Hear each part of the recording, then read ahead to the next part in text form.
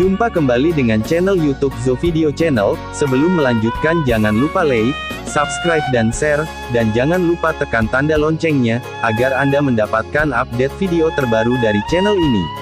Postingan berikut ini kita akan tampilkan destinasi wisata Bukit Sibea-Bea di Samosir, Sumatera Utara. Bukit Sibea-Bea yang tawarkan wisata religi dan keindahan alam mempesona. Bukit Sibea-Bea merupakan objek wisata religi terbaru, yang terletak di Harian Boho, Kabupaten Samosir, Sumatera Utara.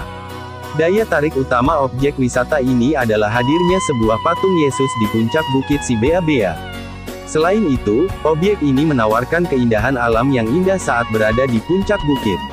Meski belum resmi dibuka untuk umum, Bukit Sibea-Bea ternyata telah viral, setelah beberapa orang mengunggah keelokan alamnya, di akun media sosial seperti Instagram, TikTok hingga YouTube.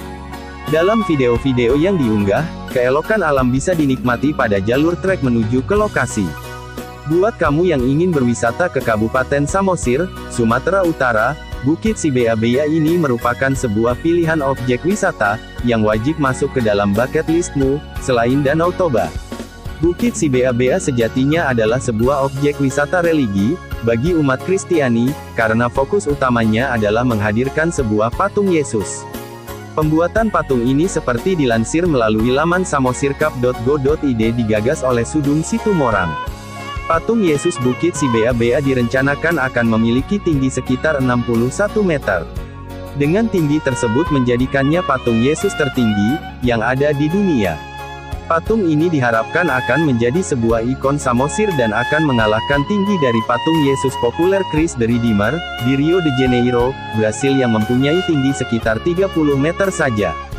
Sebelumnya, Indonesia juga telah memiliki bangunan patung Yesus Buntu Burake setinggi 45 meter di Toraja, Sulawesi Utara dan patung Yesus memberkati yang ada di Manado, dengan tinggi yang mencapai 30 meter. Eloknya alam Danau Toba yang bisa dilihat melalui Bukit Sibea-Bea. Bukit Sibea-Bea menjadi terkenal bahkan sebelum resmi dibuka. Sebab, masyarakat terkesima dengan keelokan dan keindahan alam Danau Toba, melalui foto-foto yang telah beredar di media sosial. Foto-foto tersebut memperlihatkan sebuah jalan berlatarkan alam yang merupakan sebuah jalan aspal berkelok dan mendaki. Jalur ini nantinya akan menjadi jalur utama bagi para pengunjung untuk menuju ke objek wisata religi patung Yesus Kristus yang ada di puncak bukit. Melalui jalur tersebut, pengunjung bisa menyusuri birunya Danau Toba dan hijaunya pemandangan perbukitan yang asri. Bukit Sibea-Bea dan seluruh komponen fasilitas untuk menunjang kenyamanan para pengunjung untuk berwisata, diperkirakan akan rampung pada tahun 2022 mendatang. Dilansir melalui berbagai sumber, objek wisata rohani patung Yesus Kristus ini akan selesai dibangun pada September tahun 2021, sementara penataan lokasi wisata secara menyeluruh diperkirakan akan rampung pada Juni tahun 2022 mendatang. Nah, itu dia beberapa fakta mengenai objek wisata rohani Bukit Sibea-Bea, yang ada di Kabupaten Samosir.